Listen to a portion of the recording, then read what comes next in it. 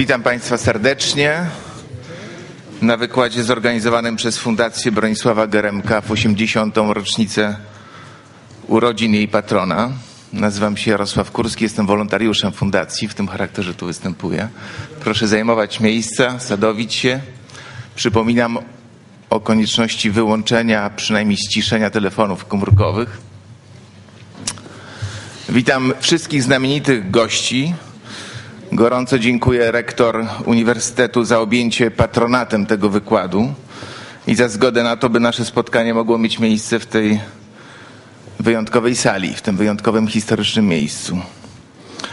Profesor Bronisław Geremek był człowiekiem dwóch wielkich pasji, pasji historyka i pasji obywatela. Niewątpliwie tragizm XX wieku, a także osobiste doświadczenia człowieka czasu wojny sprawiły, że jako historyk epoki średniowiecza zaczął, zajął się w szczególności kondycją ludzi wykluczonych, ludzi obrzeży społecznych tamtej epoki. Biedotą, żebrakami, kurtyzanami, Żydami, trędnowatymi, a nawet katami. Ludźmi pozbawionymi praw i przywilejów średniowiecznych Stanów. Jako Polak obywatel był Geremek współtwórcą Solidarności, ruchu Solidarności, który ucieleśniał jego marzenia o, o Polsce szklanych domów, Polsce społecznej sprawiedliwości i jedności wyrażonej przez młodopolskiego poetę jeden tylko jeden cud z polską szlachtą, polski lud.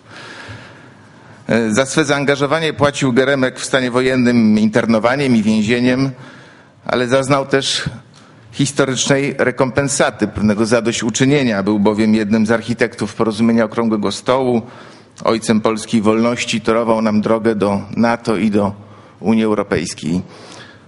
Profesor Jerzy Jedlicki przyjaźnił się z Bronisławem Geremkiem, podzielał jego historyczne i obywatelskie pasje. Można o nich powiedzieć, że są to w jakimś sensie życiorysy ze sobą równoległe. W naszym gazetowym archiwum zachowało się zdjęcie, kiedy profesor Jerzy Jedlicki wita swego przyjaciela, kiedy ten wychodzi z aresztu przy ulicy Rakowieckiej. Który to był rok, panie profesorze? 83, oczywiście, 83. Profesor Jerzy Jedlicki z wykształcenia jest socjologiem, historykiem idei wieku XIX i XX. Był wykładowcą Towarzystwa Kursów Naukowych. Jest twórcą dzieł wybitnych, człowiekiem pierwszej Solidarności w stanie wojennym internowanym. To intelektualista opowiadający polskiej inteligencji własną historię. Przewodniczy Radzie Programowej Stowarzyszenia Otwarta Rzeczpospolita walczącego z ksenofobią, nietolerancją i antysemityzmem i trzeba powiedzieć, że ma pełne ręce roboty, zwłaszcza ostatnio. To patriota krytyczny, uważający dziedzictwo narodowe za spadek, który się przyjmuje z dobrodziejstwem inwentarza, a więc z tym wszystkim, co złe i z tym wszystkim, co dobre. Serdecznie pragnę w imieniu Fundacji podziękować panu profesorowi, że zechciał przyjąć nasze zaproszenie, zwłaszcza, że z racji stanu zdrowia wymaga to od niego dużego wysiłku. Ja proponuję spontaniczne i niezaplanowane oklaski dla pana profesora.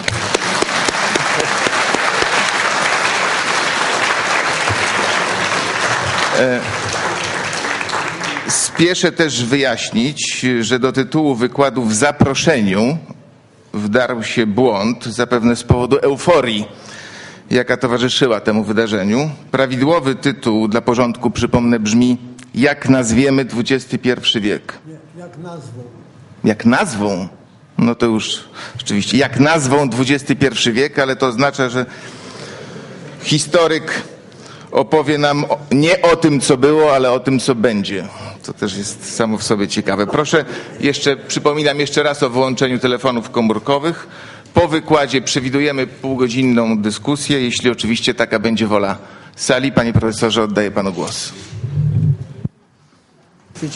Tak. Dziękuję bardzo. To ja powinienem dzięko, podziękować fundacji za to, że powierzyła mi ten, ten, ten za to, że mi powierzyła ten zaszczyt, żebym mówił dzisiaj w, w 80. rocznicę urodzin Bronisława Geremka. Jest to dla mnie przyjemność, satysfakcja, a jednocześnie żal, wielki żal, że, że Bronek nie dożył tego momentu, kiedy mógł sam swój, swój jubileusz z nami świętować i wtedy on by tutaj siedział i mówił do nas. Los chciał inaczej.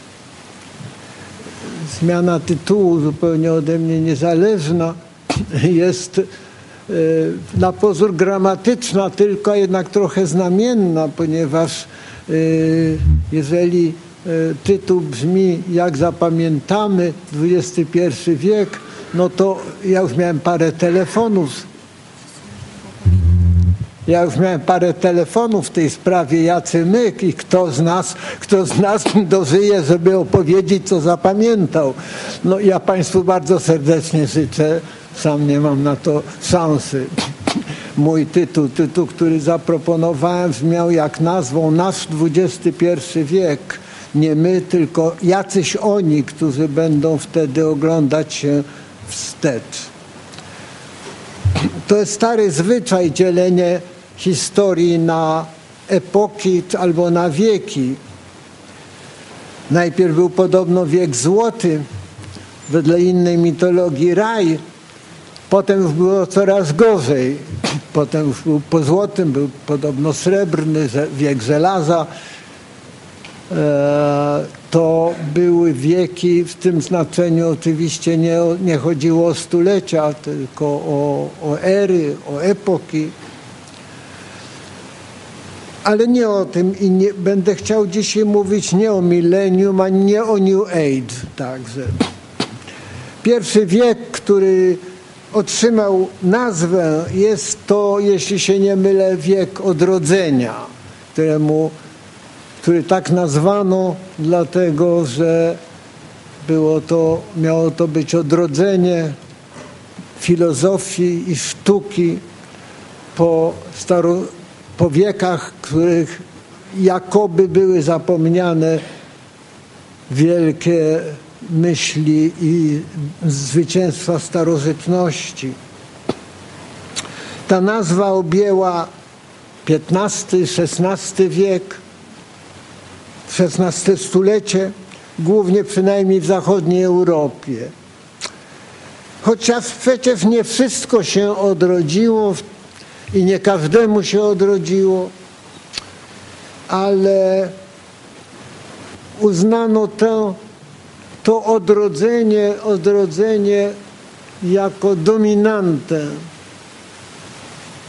z tych stuleci XV albo drugiej połowy XV i XVI wieku, jako to, co było w nich najważniejsze. A potem przyszła nazwa wstecz, nazwano tysiąclecie od V do XV wieku wiekami średnimi, to znaczy takimi, które są pomiędzy starożytnością a odrodzeniem, bo tylko rzekomo to naprawdę się miało w dziejach ludzkiej myśli i sztuki liczyć. Historycy dosyć prędko odeszli od takiego poglądu na owe wieki średnie, ale nazwa pozostała. Nie mówi się wprawdzie dziś, że te wieki miały być ciemne czy mroczne, ale nazwa średnich wieków pozostała i e, chyba we wszystkich europejskich językach i e, stąd nazwa również uczonych, takich jak Geremek i wielu innych, których nazywamy mediewistami. A potem mamy wiek świateł albo oświecenia, który sam już tę chełpliwą dosyć nazwę przyjął dla siebie e, i objął ją, ją praktycznie cały albo większość wiek stulecia XVIII. Ale znowu była to nazwa elitarna, dlatego że daleko jeszcze było w owym czasie do powszechnego wykształcenia, do powszechnej oświaty. Ale decydujące było to, że powstały w ogóle zaczątki oświaty, oświaty świeckiej. I to dało nazwę filozofii świeckiej, co dało nazwę temu stuleciu. A wiek XIX, tu wchodzę na grunt swój trochę pewniejszy od tego, o czym mówiłem dotąd, bo na tym się już trochę lepiej znam. Wiek XIX szukał dla siebie nazwy. Najczęstsze były już gdzieś od połowy wieku XIX najczęstsza była nazwa wiek pary. Później dodano do tego wiek jeszcze elektryczności. Wiek pary i elektryczności. Albo wiek kolei żelaznych. Albo żelaza i stali. Proszę zwrócić uwagę, że w porównaniu z tamtymi nazwami odrodzenia i oświecenia, tym razem inna, jest zupełnie inna dominanta. Jest dominanta techniczna, a nie dominanta związana z filozofią i sztuką. No i słusznie, dlatego że dla ludzi, którzy wówczas w XIX wieku żyli i dorastali, te rewolucja przemysłowa, zrazu angielska, później europejska i e, to te gwałtowne przemiany techniczne widoczne zwłaszcza w komunikacji, także w przemyśle, wkrótce potem również w życiu codziennym pod koniec wieku, to były wyraźnie te największe zdobycze czasu. Ale Anglicy, którzy mówili oczywiście o tym właśnie wieku kolei czy wieku pary, również mówili o wieku wolności albo o stuleciu liberalizmu, a wkrótce potem także o epoce wiktoriańskiej, ponieważ królowa, która panowała od 1837 do 1901 roku Elżbieta II jej jeszcze nie pobiła, w tej chwili obchodzi 60-lecie. Wiktoria panowała lat 64. Epoka ta oznaczała też całe dzieje, zwłaszcza mieszczaństwa angielskiego i europejskiego, które doszło do swojej potęgi, również kolonialnej wówczas. Pozytywiści zaś wymyślili nazwę wieku postępu. To słowo zrobiło niebywałą zupełnie karierę w XIX wieku i karierę w historii myśli, w oświacie, w nauce i w przemyśle wyrażało przekonanie, że historia ma kierunek i cel, do którego dąży. Celem jest coraz większe doskonalenie się ludzkości we wszystkich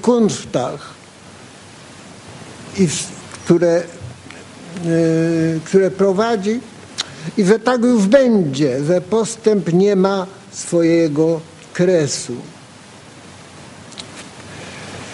Ale oto przyszedł schyłek wieku, a z nim posępnienie, zmiana nastrojów, znajdująca wyraz zwłaszcza w poezji, w filozofii, w myśli politycznej także. W Polsce dla patriotów wiek XIX było to oczywiście wiek niewoli, a dla demokratów i socjalistów Europy był wiekiem przeklętym, wiekiem zgniłego liberalizmu, w którym nie spełniły się nadzieje na socjalną demokratyczną rewolucję. I trzeba było odłożyć je na kiedy indziej. Słowem, nie było zgody co do tego, jaka jest dominanta XIX stulecia, rozwód tego, tych, y, rozwód y, tych nazw, jak Państwo widzicie, jest ogromny. Za to już przed rokiem 1900 Zac- Zaczęła się pasja wróżenia, odgadywania, co przyniesie nowy wiek, wiek XX, bo już wtedy, wtedy już pojęcie wieku i stulecia się nałożyły na siebie. W pewnych granicach, o tym jeszcze będę mówił. Co przyniesie nowy wiek?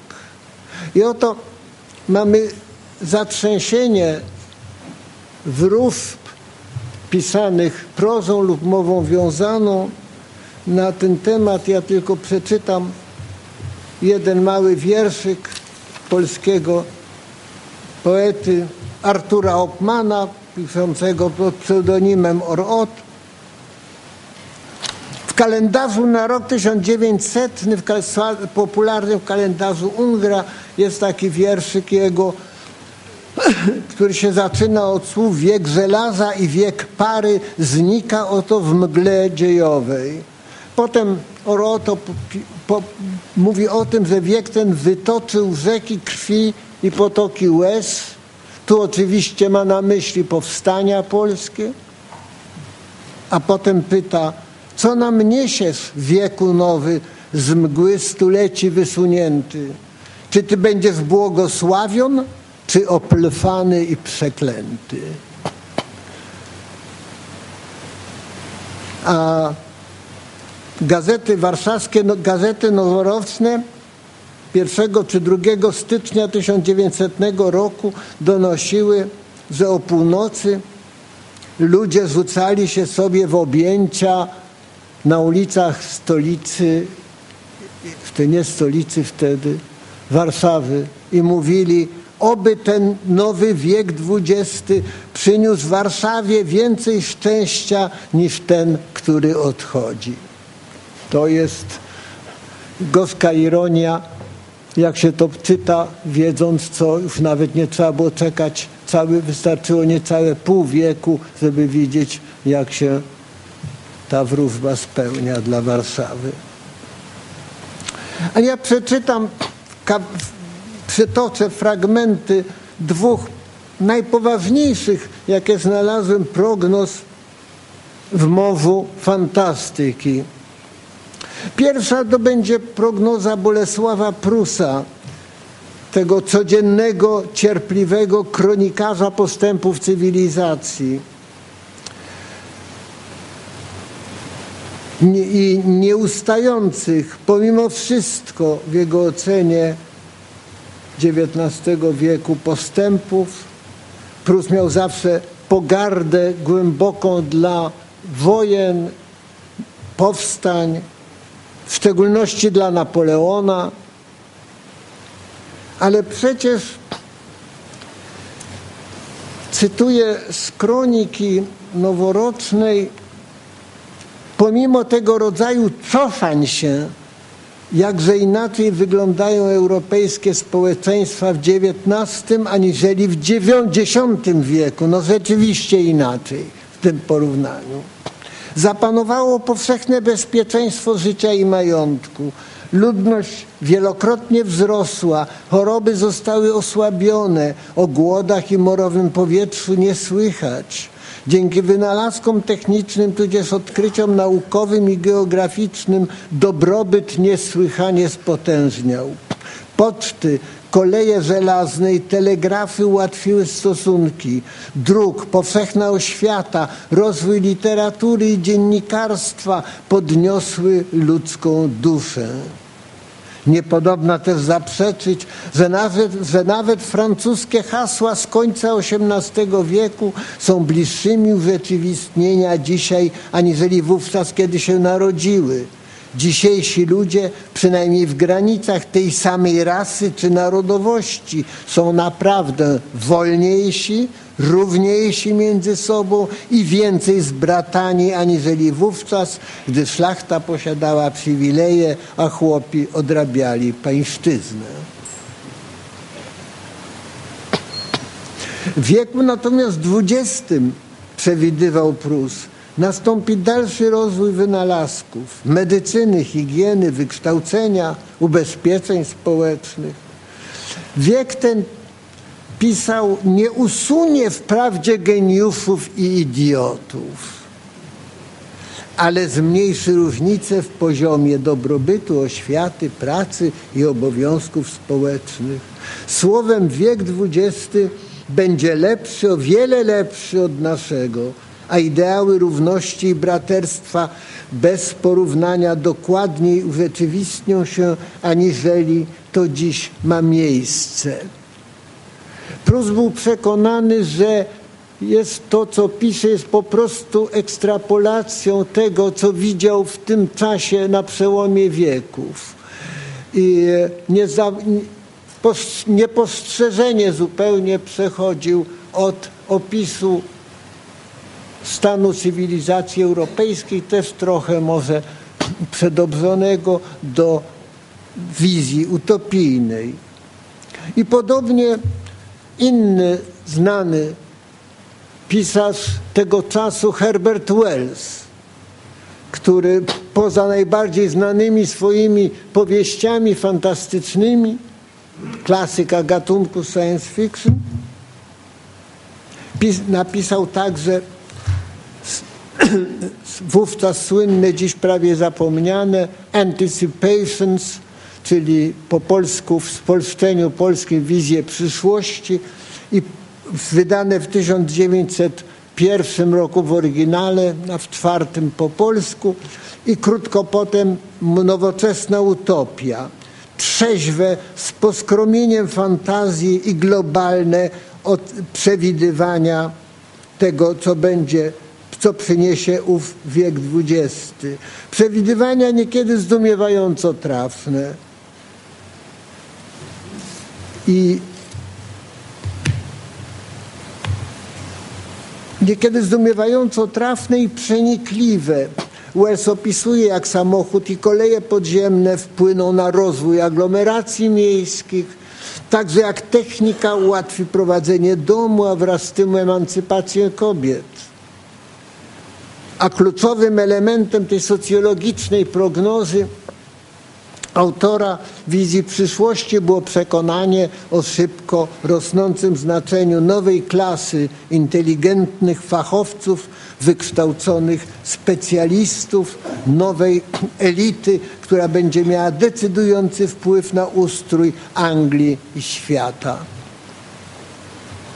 Partie polityczne, nie mając żadnych zasad, licytują się tylko swoim patriotyzmem i nienawiścią do obcych. Także za tak Wells wchodzi w nowy temat w swoich przewidywaniach z, nie, z ogromną niechęcią do wszystkiego, co wiąże się z życiem politycznym. I z tego się bierze, z tego wyścigu partii nienawiści do obcych bierze się wyścig nacjonalistyczny, zaród niechybnej wielkiej wojny. To było napisane w 1901 roku. Będzie to wojna totalna, uczestniczyć w niej będzie cała ludność, ale wynik zmagań rozstrzygnie nauka i technika.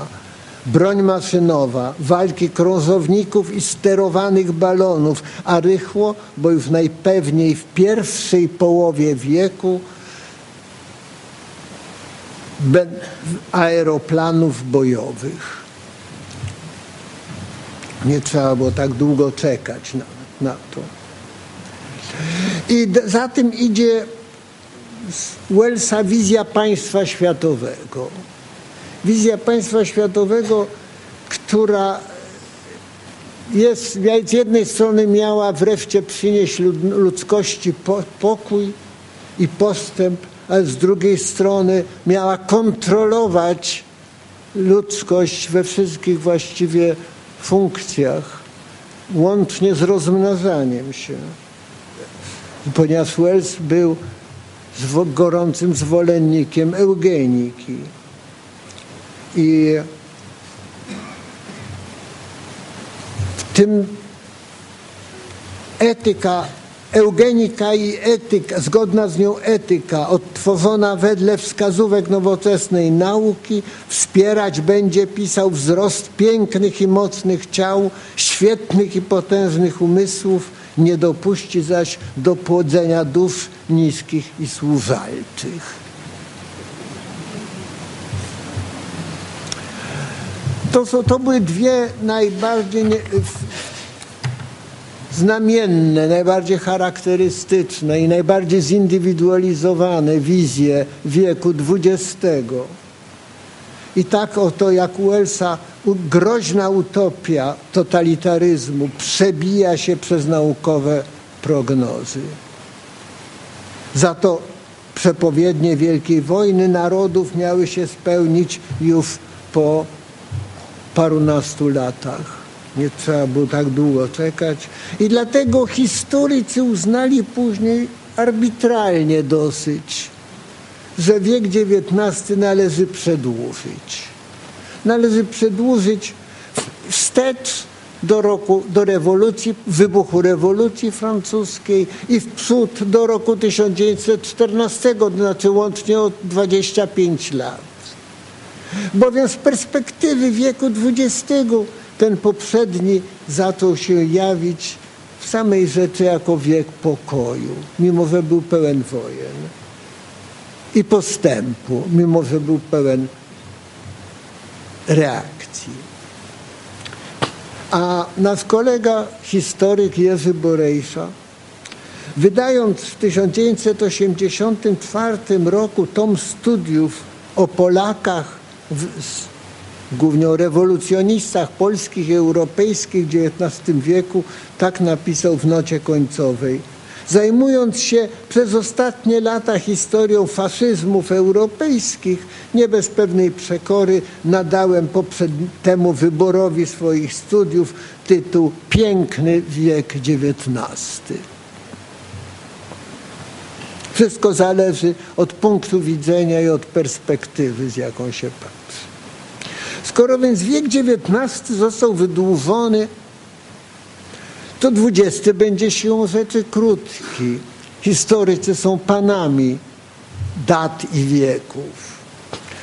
Wiek XX będzie krótki, bo zacznie się w roku 1914, a zakończy już w 1989. Czyli to, co XIX dodano, to tyle mniej więcej dwudziestemu odebrano. No bo w ten sposób można było w nawias XX wieku, w nawiasie XX wieku zamknąć wszystkie możliwe ohydy tego czasu. To i zaiste magiczny pomysł, taka spekulacja datami. Ten krótki wiek zaczął się, przypomnę, od milionów trupów od rzezi I wojny światowej, zwłaszcza na zachodnim froncie, od epidemii 1918 roku, która przypominała ludziom czarną śmierć z XV wieku, z XIV wieku, od czystek etnicznych, jeszcze tak się to wówczas nie nazywało, ale tak w tym w istocie były rzezie Greków w Turcji, Ormian w Turcji, Turków w Grecji spowodowane od innych rzezi bliższych nam na froncie, na, na, na, o, o, wzdłuż granic powstającego państwa polskiego i od, od rzezi spowodowanych upadkiem imperiów i, samos, i hasłem samostanowienia narodów, które wtedy Polakom się wydawało bardzo pięknym i słusznym, ale przyniosło prawdopodobnie znacznie więcej nieszczęść światu aniżeli sprawiedliwości między narodami. I taki był początek XX wieku. No a potem wiadomo, Mussolini we Włoszech, Lenin i Stalin w Rosji, Hitler w Niemczech, Franco w Hiszpanii, dyktatura wojskowa w Japonii, druga wojna ta naprawdę już światowa i po niej w dalszym ciągu jeden przynajmniej przedłużony totalitaryzm i pokłosie rasizmu, wykrwawione narody, groźba trzeciej wojny światowej, atomowej, jądrowej, wyścig zbrojeń między Stanami Zjednoczonymi a Związkiem Radzieckim. Ale przecież jest jednak jeszcze i drugi szereg. Przynajmniej w krajach Zachodu był. rozwój komunikacji lotniczej, autostrad, pojawienie się radia i telewizji, ułatwienia gospodarstwa domowego o ogromnym znaczeniu, zwłaszcza dla, dla kobiet.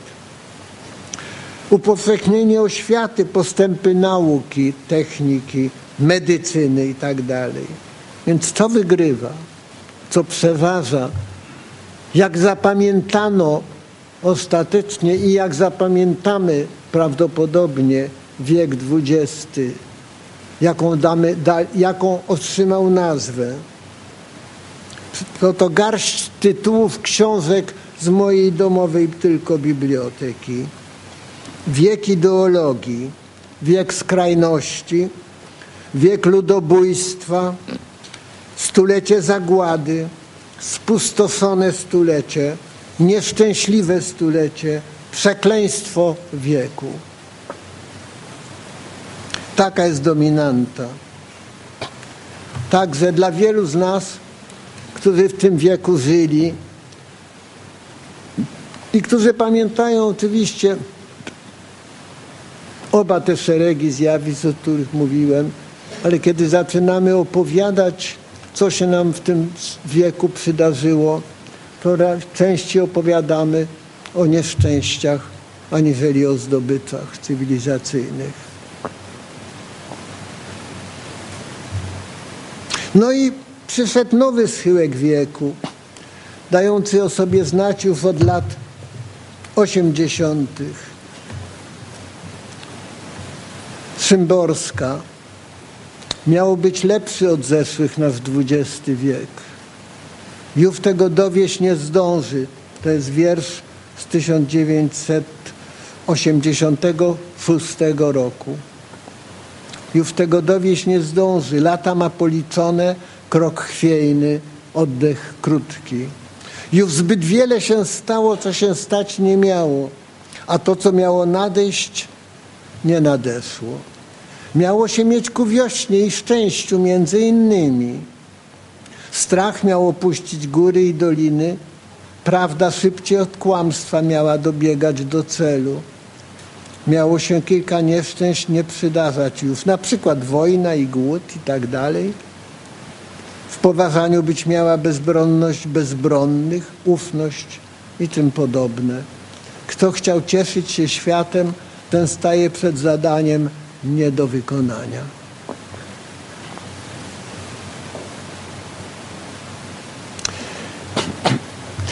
Czas, w niektórych, niektórych autorów pojawiła się chęć wzięcia tego wieku w nawias. Jeden z, jeden z, jedno ze studiów, artykułów Tadeusza Mazowieckiego, zdaje się, że go tu widziałem przed chwilką, ale z Tadeusza Mazowieckiego nosi tytuł Między XIX a XXI wiekiem. Bardzo znamienne jest to między. I z przyjemnością zamknęliśmy ten wiek przed czasem, na co nam pozwolił rok 1989, wyzwolenie krajów demokracji ludowej, rozpad, a krótko potem zjednoczenie Niemiec, rozpad Związku Radzieckiego i jeszcze kilka innych przyjemności, które pozwoliły zamknąć wiek XX. I tak jest już dzisiaj w, książkach historycznych. Także na przykład ten wiek skrajności Erika Hobsbauma to właśnie nosi te skrócone daty od 1914 do 1989. Ale skoro tak, to zwracam uwagę, że od 22 lat już żyjemy w wieku XXI.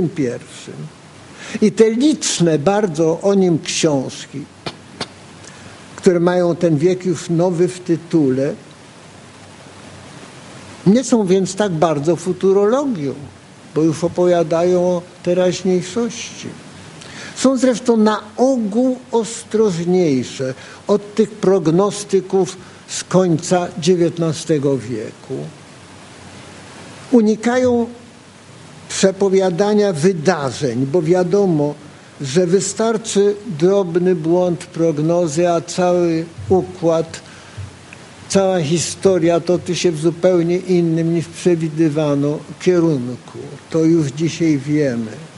Ostrożne są też przewidywania odkryć naukowych i wynalazków, a mimo to uczeni popularyzatorzy nauki zgadują to, co zdaje im się bliskie i upragnione, i nawet gazety, Gazeta Wyborcza do, ogłasza y, dodatek, w doda, dodatku 21 odkryć na XXI wiek, chociaż tak naprawdę to w tych, to w tych y, odkryciach raczej się mówi o tym, co już zostało dokonane, a nie co dopiero ma być. Faktycznie większość tych prac o, y, o XXI wieku jakie się dotąd ukazały, są to w miarę popularne opisy obecnego stanu wiedzy oraz najbardziej obiecujących procesów poznawczych i technologicznych, tych, które są na dobrej drodze do dalszych sukcesów albo omyłek. A więc na przykład genetyki, zastosowania komórek macierzystych, nanotechnologii, paleontologii czy demografii. Demografia jest szczególnie ciekawa w moim przekonaniu, ponieważ od, ze względów metodologicznych, ponieważ już od dawna prognozuje liczbę ludności róż, na różnych terytoriach albo ich strukturę ludności według wieku, prognoz, prognozuje zawsze wielowariantowo. Mamy z reguły jakieś przewidywania maksymalne, minimalne i gdzieś w środku pomiędzy nimi optymalne. Ale na przykład taka książka